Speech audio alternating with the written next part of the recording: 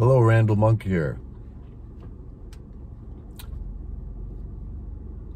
I want to talk about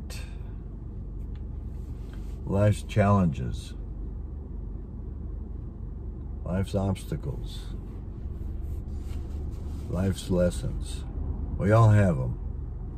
Lessons, challenges, tests. Might call them initiations even. They are opportunities. What a lot of people consider a negative thing is actually a positive thing because it's an opportunity to learn from whatever that experience was, whatever that ex experience presented to us. And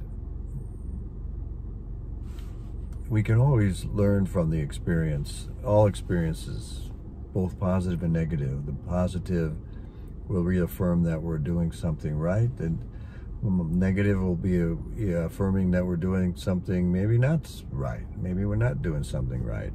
Or maybe it's activating something within us, what Archangel Michael would call, uh, through Rana, the Zane, um, a memory seed active activation. A memory seed atom was activated, and maybe it was one of the darker ones that we need to clear up, that we need to transform. In any case, our challenges,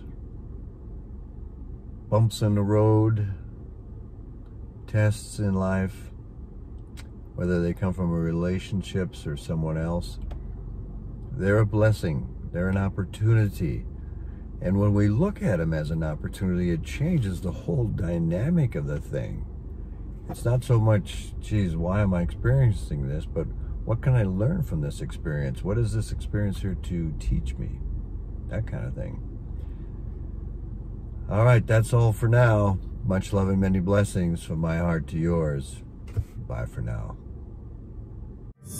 Amen.